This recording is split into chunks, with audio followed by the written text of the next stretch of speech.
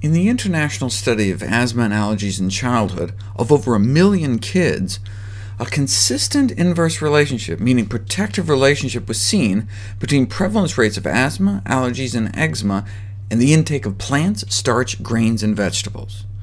If these findings could be generalized, and if the average daily consumption of these foods increased, researchers speculated over a decade ago an important decrease in symptoms prevalence may be achieved. No need to speculate anymore, though. Plants were finally put to the test.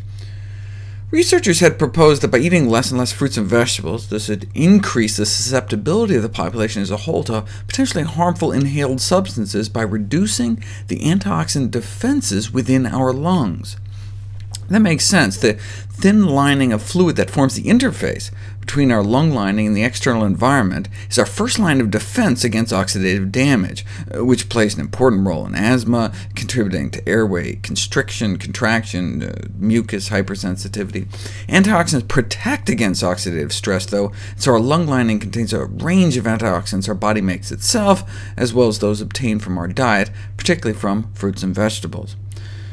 In fact, we can even quantify the level of oxidative stress in people by measuring the level of oxidation products in their exhaled breath, which drops as they start eating more fruits and vegetables, then drops further when they combine more plants with less animal foods. So do these, to those with asthma really have lower levels of antioxidants than people without asthma? Compared to healthy controls, uh, subjects with asthma had lower whole blood levels of uh, total carotenoids, and each of the individual plant phytonutrients they measured, cryptoxanthin, uh, lycopene, uh, lutein, alpha-carotene, and beta-carotene, compared to healthy controls. So the accumulating evidence does suggest that diet has an influence on modulating the response of the lung to inhaled allergens and irritants. But uh, wait a second, I mean, it's possible that the reduced carotenoid levels in asthma are a result of increased utilization in the presence of excess free radicals, so it's like a chicken or the egg phenomenon, or in uh, cholesterol-free vernacular, which came first, the pea or the pod. We know antioxidant-rich diets have been associated with reduced asthma prevalence. However, direct evidence that altering intake of antioxidant-rich foods actually affects asthma was lacking, until now. There's two ways to test the effects of fruits and vegetables on asthma. Add fruits and vegetables to people's diets and see if their asthma improves, or, like they did here, take asthmatics and remove fruits and vegetables from their diets and see if they get worse. This was the first research group to see if altering the intake of antioxidant-rich foods directly affects asthma outcomes. Placing subjects with asthma on a low antioxidant diet for just a matter of days led to a significant worsening of lung function and asthma control.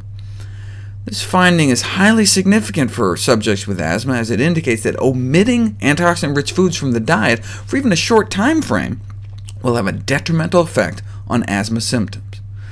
Interestingly, ironically, the low antioxidant diet consumed by the subjects, where they were restricted to one serving of fruit and only up to two servings of vegetables per day, is typical of Western diets. In other words, the low antioxidant diet they used to worsen people's asthma, to cripple their lung function, was just like the standard American diet.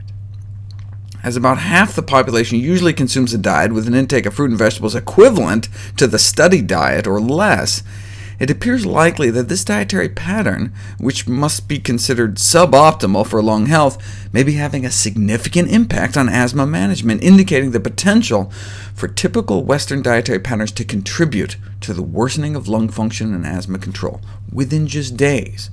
Cutting down fruit and vegetable intake can impair lung function, but does adding fruits and vegetables actually help with asthma? That was the second phase of the study. Asthmatics on the standard American diet in this study, study had about 40% chance of relapsing into an asthma exacerbation within three months, but put them on seven servings of fruits and vegetables instead of three, and you can cut their exacerbation rate in half down to 20%, just with a few fruits and vegetables.